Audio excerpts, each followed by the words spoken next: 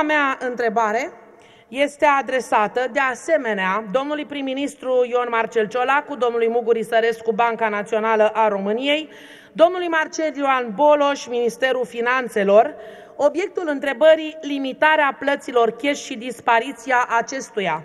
Stimați domni, începând cu 1 noiembrie au intrat în vigoare măsurile incluse în pachetul de modificări fiscale și reduceri de cheltuieli bugetare pentru care guvernul Ciolacu și-a asumat răspunderea.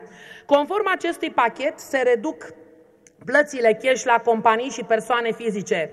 Plățile către persoanele juridice se vor putea face în limita unui plafon zilnic de 1000 de lei de persoană. Sunt cel puțin două decizii ale Curții Constituționale în care s-a menționat că statul nu îl poate obliga pe angajat să ia banii pe card și să facă cumpărături numai cu cardul.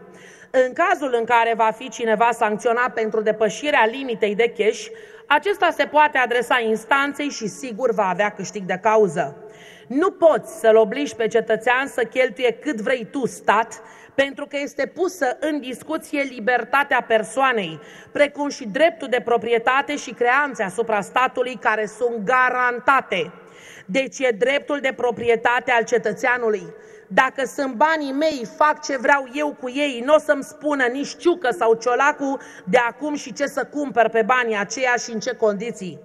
Înțelegeți odată că v-ați depășit mandatul, prerogativele și atribuțiile și este imperios necesar să renunțați imediat la aceste măsuri neconstituționale. Din toate aceste manevre vor avea de câștigat doar băncile care își vor strânge din comisioanele pentru operațiuni banii pe care trebuie să-i dea statului. Dacă aceste operațiuni cresc la bănci, cresc veniturile băncilor și băncile își acoperă până la 1% pe care trebuie să-l dea statului român din cifra de afaceri prin această chestie.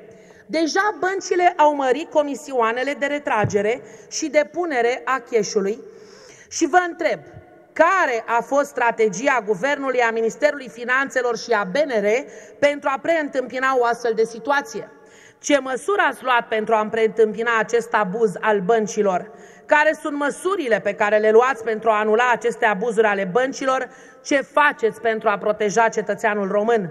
Toate plățile se fac prin bănci. Nici o bancă nu lucrează fără comision. Dacă tot instituiți astfel de măsuri neconstituționale, aberante, abuzive, vă solicit să impuneți băncilor să renunțe la toate comisioanele impuse cetățenilor români. Pentru ce nu adoptați astfel de măsuri?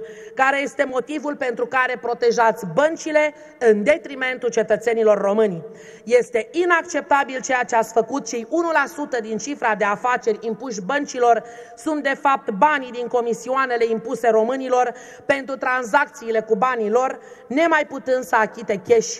Este infracțiune, stimați domni, reglementarea de către stat a circulației banilor, prin impunerea mie, cetățean, ce să fac cu ei, asta o făcea doar statul comunist. Cu ce vă diferențiați de el? Nu așa se combate evaziunea fiscală. După cum se vede, domnule prim-ministru, habar nu aveți definiția evaziunii fiscale. Vă solicit demisia, dar înainte răspundeți la întrebări că doar v-ați asumat răspunderea. Vă mulțumesc, solicit răspuns scris, senator neafiliat Diana Iovanovici Oșoacă, Partidul SOS România.